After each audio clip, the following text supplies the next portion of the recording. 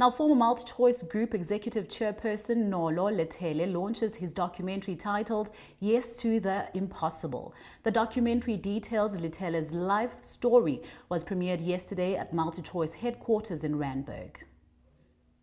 Yes to the Impossible, Enolo Letele story, idocumentary ekhuthazayo mayelana naloyo owayengusihlalo we-multi-choice group uNolo Letele nowathola i-Lifetime Africa Achievement Prize for Media Development in Africa i-Naspers Phil Webber Award kanye nomklomelo wosihlalo wesiyingi sebhizinisi labansundu. Ngemuva kokubamba iqhaza elikhulu ekusunguleni isiteshi sikamabonakude sokuqala eLesotho ngonyaka ka-1988, uLetele wajoyina i-M-Net ngonyaka ka-1990.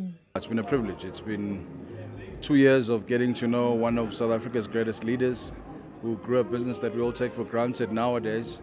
But to, to, to be able to spend so much time and understand what he's done for all of us who are even in this industry because he opened doors which allowed so many of us to be employed in whatever capacity. This is a life of a remarkable man, a pioneer, someone with an engineering background who went on to usher what is now known as broadcasting regulation. I mean, he was literally involved in the drafting from scratch of the broadcasting regulations in countries such as Botswana, countries such as Namibia.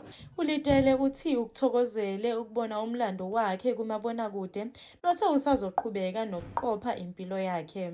I also enjoyed watching it on a screen, on a large screen. It's, uh, it's different from just looking at on a small TV set.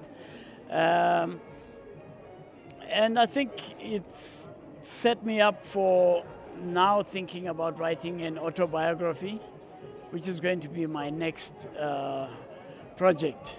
Ngonyaka ka-1999 uLetele uqokwe njengesikhulu esiphezulu se-Multi-Choice Group kwaze kwaba ngu-2010 nokuyilapho waqokwa khona njengosihlalo webhodi le-Multi-Choice South Africa Holdings okuyisikhundla asibambe iminyaka eyishumi nanye.